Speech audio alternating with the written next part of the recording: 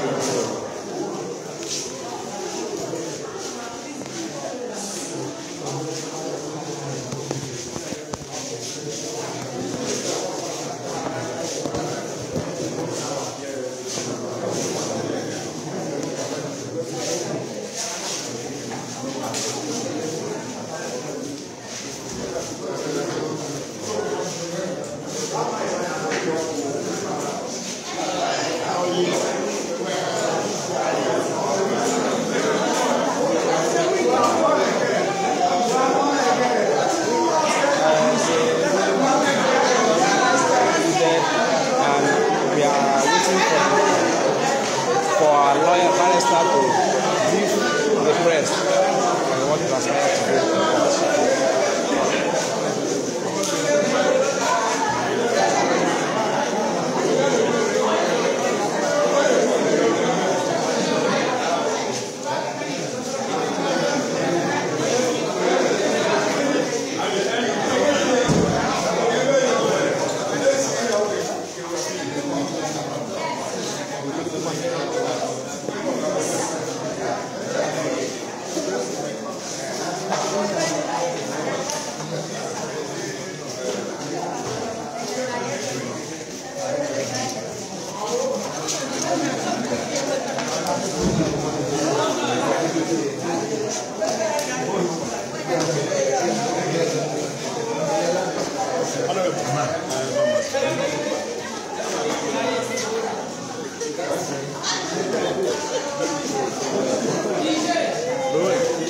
Who's going?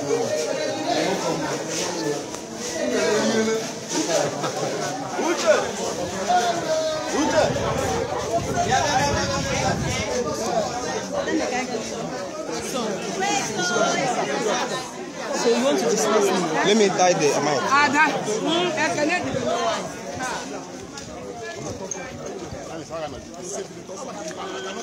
Não, não, não tem. Eu vou dar tudo. Não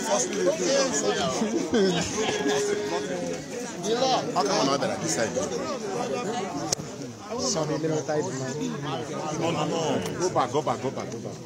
People should give them space now. Chega aqui mesmo.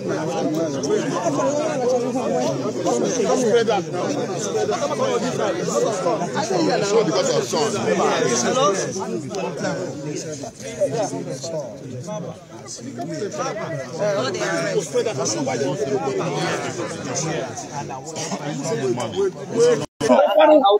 Hello? They are arrested. Not yet. Let's do. Are we ready? No, no, barrister, we are not. Excuse me. Excuse me, we are not. Excuse me, we are not. Those who are not journalists should not I don't know. I don't know why they are covering here. Eh? Those who are not journalists should shift. Let's journalists get Yes, already. We are not. We are not ready, please. If you are not a journalist, you shift so that journalists will have the space. Me, go back. Oh, we can have space.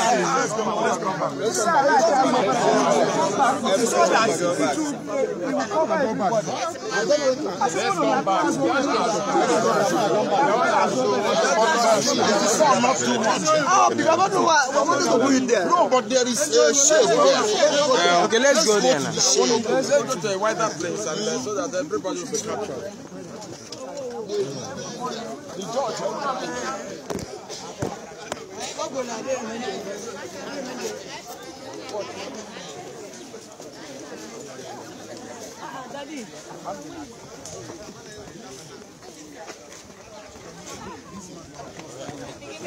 Please, gentlemen, that's not how it is. Excuse me, that's not how it is. You don't talk, that's to tell the people that are Muslim. Oh, journalists, you shift.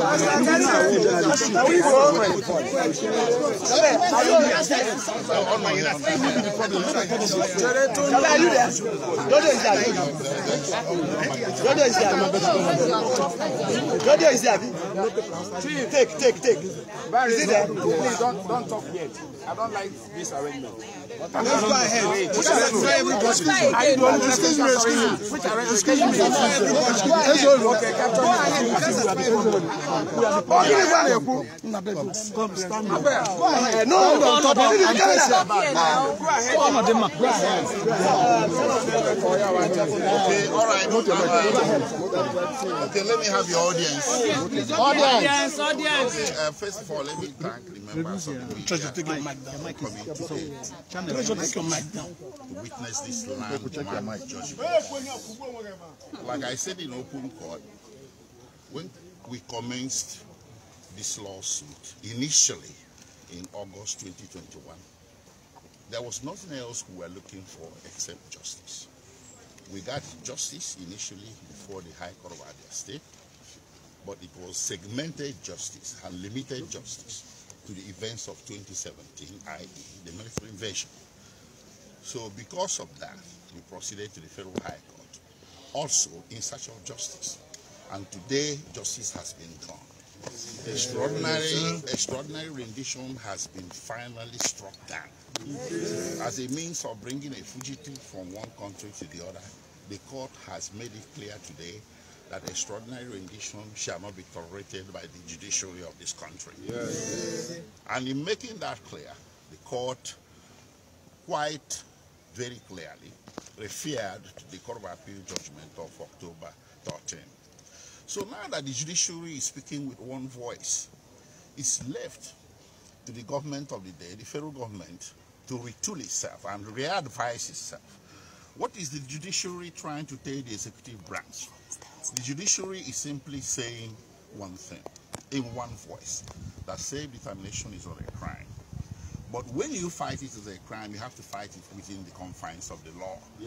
That any executive rascality or recklessness or, or, or, or, law- law- or unlawfulness shall not be tolerated by the judiciary. We came before this court today, or rather when we did in March this year, asking the court for eight reliefs. We came before the court with eight prayers, and all the eight prayers were granted. The court held that what happened to Mazin Kanu in Kenya was torture. The court held that his manner of being brought into the country is extraordinary rendition. But most importantly, the most important takeaway from this judgment today, I have to tell you, is not the money. We didn't come here looking for money. It's only because the Nigerian Constitution made provisions that when you sue for fundamental rights, you have to tag along a request for money. So we couldn't say, well, we're not going to do that. That's what the law requires. So we are not talking about the money. We are talking about restoring him to the status quo as of June 19, 2021. And that is the most important order we got from this court today. Mm-hmm. So I call on federal government to take prompt steps to obey this court order and restore Mazi Nnamdi Kanu the kind of the status that he was as of June 19, 2021, which was that he was a free man, Her Majesty's subject who entered Britain on a valid passport, entered Kenya on a valid passport, but was extraordinarily remission to Nigeria. So this court is saying restore him the status quo. And that is exactly what I expect the federal government to do. As you can recall, the Court of Appeal discharged him, but it didn't go that far.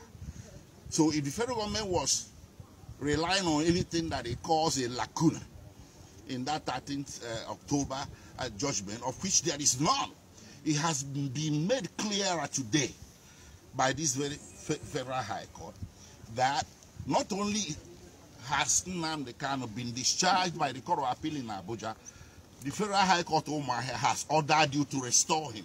Take the extra step of restoring him to his status as a free man as of June 19, 2021. And on a final note, let me also address this specifically to the federal government with all sense of responsibility. A terrorist group does not have lawyers. Anywhere in the world, it doesn't happen. IPOB is not a terrorist group. If it does, it wouldn't have lawyers, lead counsels, and special counsels. Everywhere. In Washington, IPOB has lawyers. In Britain, IPOB has lawyers. And when I say IPOB, I mean IPOB stroke Mazi Nnamdi Kanu. In Kenya, IPOB has lawyers. In Nigeria, IPOB has multitude of lawyers. Point to any terrorist group in the world that has lawyers. Show me any terrorist group in the world that has won a single court judgment. No. But IPOB has been winning a string of victories. Yes. What does that tell you? It tells you that apart from the federal government, and that very discriminatory action it took in 2017, declaring IPOB a terrorist organization, no other organ of state, including judiciary here today and judiciary in Abuja on 13th October, sees IPOB as a threat to the state or as a terrorist organization. So it's time the federal government goes back to that policy and advises itself